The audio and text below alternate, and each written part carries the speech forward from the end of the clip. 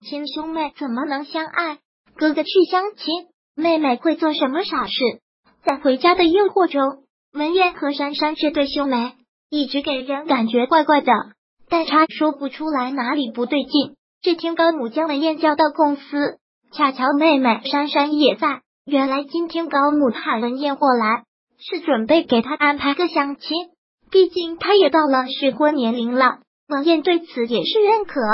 本以为正事情就这样说好了，可一边的珊珊却跳了起来，对着高母就是一顿大吼大叫，说她不应该干涉文燕的人生，特别是婚姻，应该让她自己选择。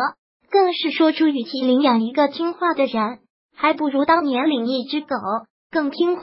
说完就摔门而出，留下的两人对于他这个举动很不理解。其实明眼人都能看出来，珊珊是爱上文言，不仅是简简单单的兄妹关系，她也不希望任何人把她夺走。估计到现在也只有高母和文言看不出来吧。